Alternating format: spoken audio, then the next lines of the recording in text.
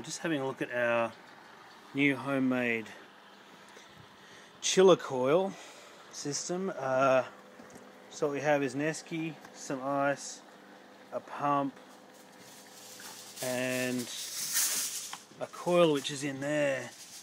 And I don't know if you can see how quickly the temperature is going down. But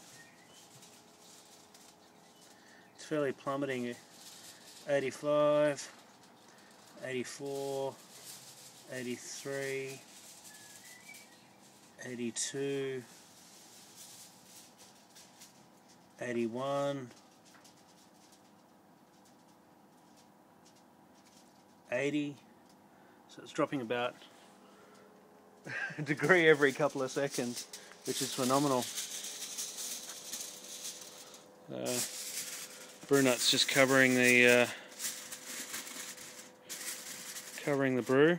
Um, this, of course, is our prototype uh, coil chiller system. So, but uh, by all accounts, it seems to be working pretty bloody well. Yes.